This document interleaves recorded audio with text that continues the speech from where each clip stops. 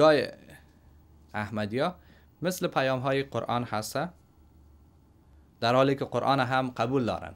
وقتی که امرایشان بحث بکنین صحبت بکنین اینا نمیگن که ما قرآن قبول نداریم. قرآن میگن قبول داریم در مساجدشان قرآن خوانده میشه نماز می‌خوانن. و احادیث در صحبت های خود استفاده می‌کنن و با اسناد دینی صحبت می‌کنن به این معنا که از اسناد دینی استفاده می‌کنن در بحثا مباحثات خود از آیات قرآن. غلام احمد اصحاب داشت و اصحابش ارزش اصحاب پیامبر سلام داره در نزد احمدیا و اینا بیعت می‌کردن.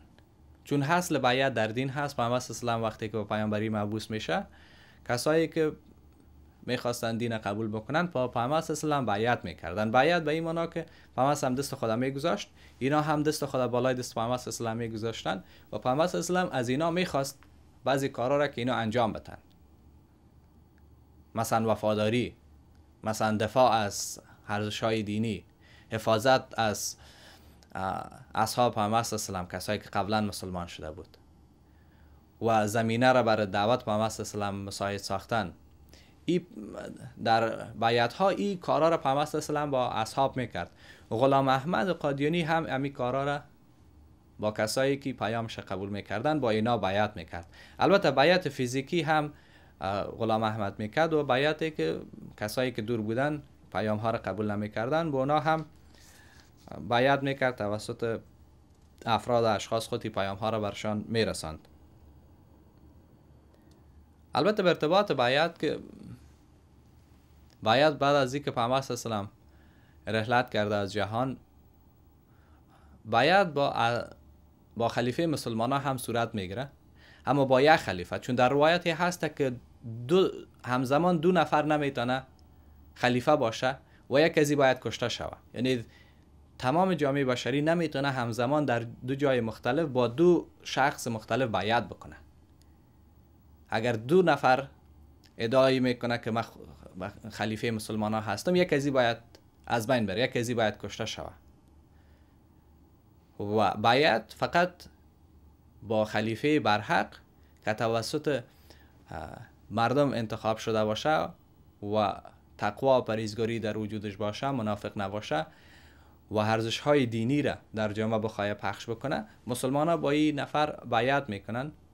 اما ای که هر کس در هر جایی پیدا شوه و مسلمان ها با او بیعت بکنن در حقیقت ایجاد فرقه ها هسته که متاسفانه در در حلقات صوفی صوفیزم هم اشخاصی هستند که پیروای خود وادار می سازن برای بیعت که امو روایتی را که گفتیم ای دوستا باید ای روایت ببینن که بیعت شرط چی هسته با کدام اشخاص بیعت می‌تونه صورت بگیره. و همچنان نسبت به قادیان اما قسمی که مدینه منوره نزده مسلمان ها جای خوب هسته و نسبت به دیگه جایها ارزشمندی داره مدینه. حتی بعد از اینکه دجال ظهور می‌کنه در جایی که رفته نمی‌تونه در مدینه منوره و در حرم نمی‌تونه رفته. در فرقه احمدیه قادیان ارزش مدینه منوره را داره و هر کسی با افکار غلام احمد مخالف باشه و ای را رد بکنه نزد احمدیا کافر هسته. و به می دلیل پشت مسلمان ها نماز نمی‌خوانند. یعنی پشت امام اگر یک جای امام هسته نماز میته یک احمدی اجازه نداره که پشت امامی که اهل سنت و جماعت هسته و تمام مسلمان ها ارتباط امامت نظرشانی است. که شما یک جای وقتی که میرین می‌بینین که نماز جریان داره تحقیق نمی‌کنی که امام چی کاره هست تقوا داره نداره آدم فاسق هست آدم آدم نیک هست آدم دانشمند هست. وقتی که نماز تیار هست اقتدا می‌کنی پشت امام نماز می‌خوانی. ولی اگر به ارتباط امام تصمیم گرفته میشه در مسجد که امام همیشگی هست. کسایی که در برد مسجد هستن اراکین مسجد و مسئولین اینا به ارتباط شخصیت امام می‌تونن از لحاظ حصول دین مطالعه بکنن و تحقیق بکنن که امام چی کاره هست چی عقاید می‌خواه پخش بکنه و آدم دانشمند در نسبت به دین هست نیست. اما برای عام مردم برای مجموعی از مسلمان ها هر جایی که امام هسته انسان می‌تونه پشتش نماز بخونه. البته امام مسلمان. اما احمدی ها پشت امام مسلمان ها نماز نمی‌خوانند چون عقیده شانی است که مسلمان های دیگه که این دعوت ایره که غلام احمد کرد ایره قبول ندارن بنان اینا کافر هستن و بعضی احادیث قبول دارن بعضی احادیث قبول ندارن اما قسمی که گفتیم در قبلا اشاره کردیم که قرآن میگن قبول داریم. اما آیات قرآن پیامی که غلام احمد آورده آیات قرآن رد میشه. مثلا در سوره اعذاب آیت چل خداوند بطال مسئله نبوت بسیار واضح و روشن اشاره کرده. مسئله خاتم النبیین در اوجا واضح هست که نبوت ختم شده. و همچنان حدیثی را که راجع به دجال هست که دجال نفر هست آدم هست. گوش داره بینی داره. و در میان مردم میایه گپ می‌زنه. با آمدن مهدی دجال هم